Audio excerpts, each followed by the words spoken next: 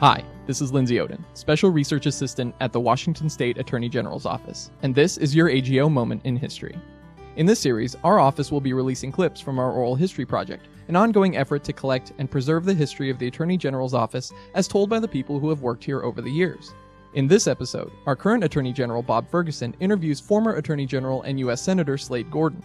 Senator Gorton served three terms as Attorney General of Washington State from 1969 to 1981. He was later elected to the U.S. Senate, where he served three terms from 1981 to 1987 and from 1989 to 2001. During his time as Attorney General, Senator Gorton argued 14 cases in front of the U.S. Supreme Court. In this clip, Senator Gorton discusses his experiences at the Supreme Court, how he prepared, and what made those cases so memorable for him. Let's have a listen. If you're going to have a top two or three highlights, right? I'd be kind of curious when you look back on on uh, on the highlights of your time as Attorney General. It's a particular case or something else. Obviously, there's Major League Baseball in Seattle. It's hard to get bigger than that. But There was Major League Baseball. there were the 14 cases in the U.S. Supreme Mhm. Court.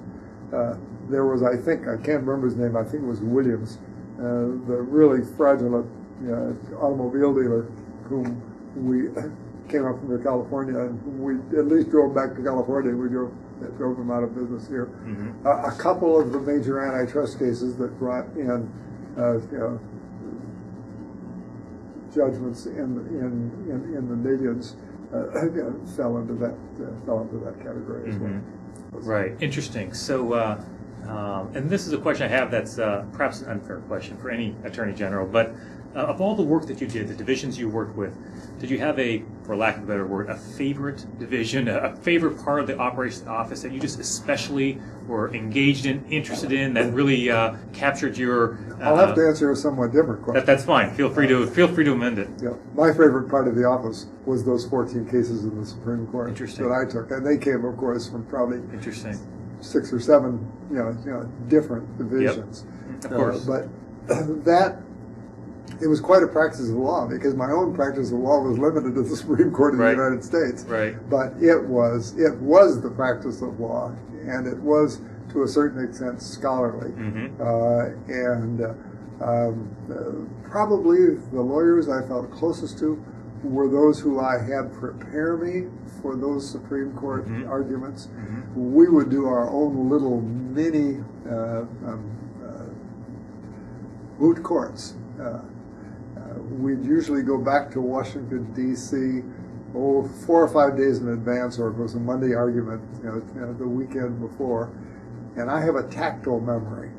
I I would write out, you know, my argument, and then have these three or four assistants really go after me, and they had to, you know, they had to go after the boss. And I'd kick them out of the room and rewrite it and do the same thing over and over again, and it was a was a marvelous way of uh, preparing. So the the lawyers in the office to whom I was inevitably the closest were the six or eight senior lawyers who were in our attorney general's office that was in the, the in, in the uh, um, in, in, in the Supreme Court building. Uh, probably when that building was finished in the early uh, 20th century, all the assistant attorney generals that you know, were in it.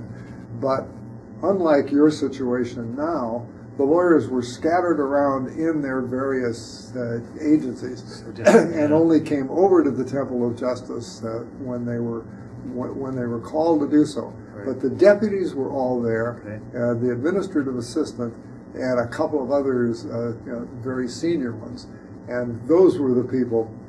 Without Right. the slightest question, I got to know best. Right. Plus the ones who either played softball or basketball. Sure, sure. Now, one thing you mentioned the Supreme Court arguments, and uh, uh, I seem to recall. Tell me if I've got this right. It was. Uh, uh, you may not recall this, but we had a conversation where at some function. This is before I became Attorney General, even running for Attorney General. It might have been the first time we actually met, and I'd known you'd had many arguments for the U.S. Supreme Court. And I seem to recall. I hope I got this right. That at one of your arguments, one of the justices said to another justice or to a law clerk that your argument was especially good, maybe even the finest that this justice had ever heard.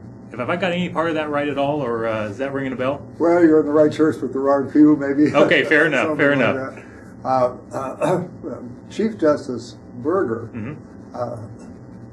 Uh, I, I actually have something in writing, and it's not an email because Yes, it was this is- too early. Yes, this is what I remember. Yeah, this is Uh, this is this is the story. So what was that made story? the statement that I made the best arguments of any state attorney general. I'm not too far off then. Okay, that's a, that's a pretty big compliment, Senator. Gorton. Then much later, you know, I'm in K and L Gates now. Yeah.